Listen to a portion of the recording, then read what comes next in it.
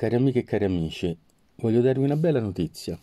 Quando ieri ho pubblicato il video conversazione con eh, la Mendola, subito appena pubblicato se, alcune eh, persone sono venute a mettere i pollici giù, senza neanche conoscere il contenuto del video.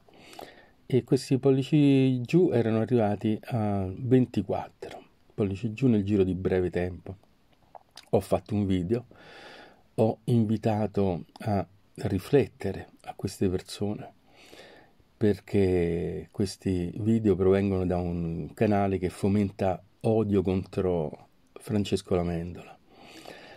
Ho invitato a, a, riflettere queste persone sul fatto che mh, nel momento difficile dove ci obbligano ad andare in giro con le museruole, dove c'è una diffidenza massima tra tutti quanti, è bene invece portare dei segnali di pace e di conseguenza non contribuire a questa circolazione dell'odio, perché se ognuno fa la sua parte, tutti possiamo stare meglio e quindi cercare di recuperare un senso di solidarietà che ovviamente non comprende e non può comprendere l'odio. La bella notizia qual è? Che i pollici che erano 24 sono diventati 8. Quindi ehm, due terzi delle persone hanno accolto questo appello e questo lascia ben sperare.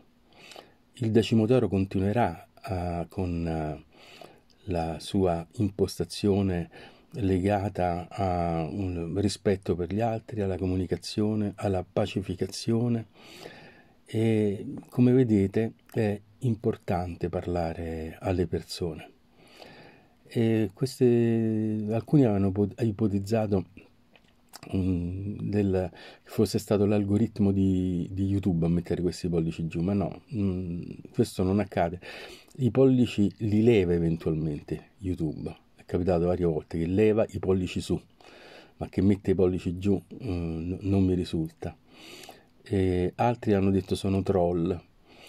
E, e, invece la conferma che non sono né troll né youtube è stata dal fatto che i pollici da 24 sono diventati 8 io ringrazio veramente queste persone eh, che hanno tolto il loro pollice giù, che hanno compreso che era un frutto di odio e soprattutto che hanno compreso che in questo momento delicato beati i portatori di pace. Bene, cari amiche e cari amici, eh, mi fa piacere iniziare la giornata con questa bella notizia.